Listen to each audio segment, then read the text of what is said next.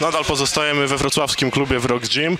Ze mną jest e, Paweł Korek-Korycki, który został przedwczoraj e, promowany na czarny pas brazylijskiego jiu-jitsu z rąk André Galvão. Witaj.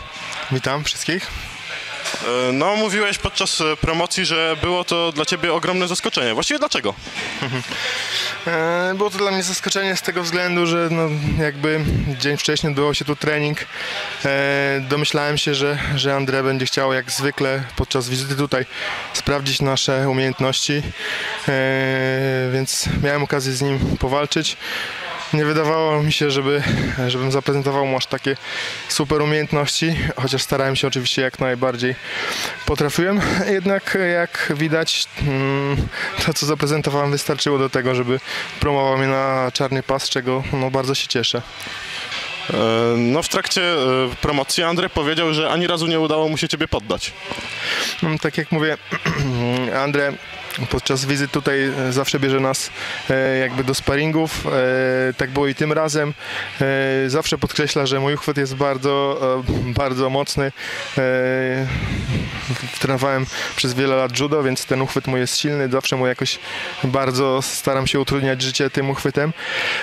No myślę, że z tego względu mnie nie poddał głównie, chociaż zrobił na mnie masę punktów. Jak zwykle zresztą.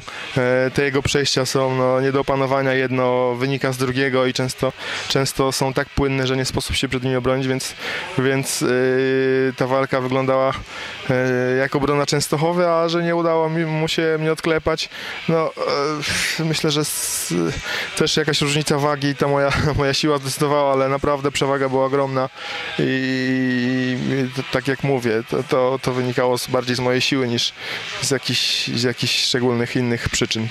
No, ale jak mówi przysłowie, prawdziwa siła techniki się nie boi. E, A możesz powiedzieć e, widzom, od jakiego czasu trenujesz jiu-jitsu?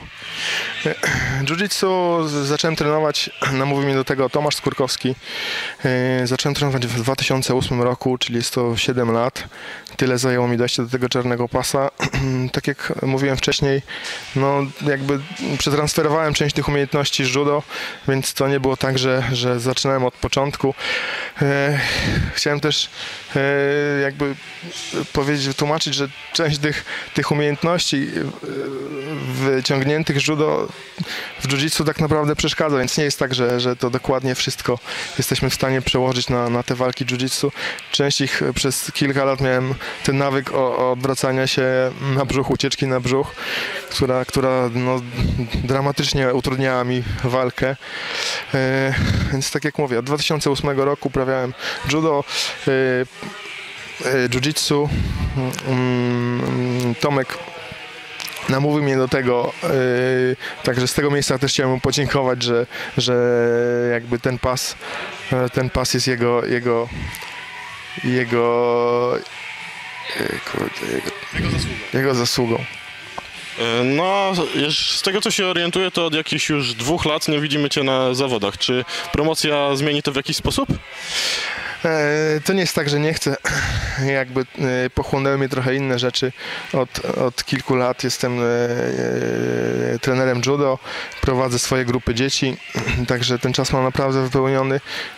No nie ukrywam, że, że, że nie miałem jakby czasu się solidnie przygotować do tego, a nie chcę startować, tak jak mi się zdarzyło to kilka razy, e, startować nieprzygotowanym, kiedy to prowadziłem walki, wa, o, o, ważne, ważne e, wyniki, ważne, ważne walki w finałach prowadziłem, a później przez ten brak siły niestety nie udało mi się, więc e, myślę, że jak się przygotuję solidnie, to wystartuję jeszcze, e, będzie, będziecie mieli okazję mieli zobaczyć na matach.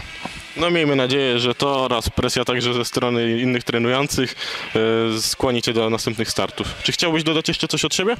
E, Z tego miejsca jeszcze raz chciałbym podziękować wszystkim, którzy się przyczynili do, do tego, że zdobyłem ten czarny pas.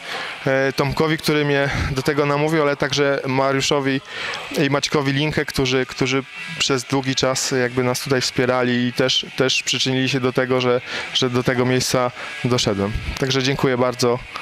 Jestem bardzo wdzięczny. Dziękuję serdecznie. Dzięki.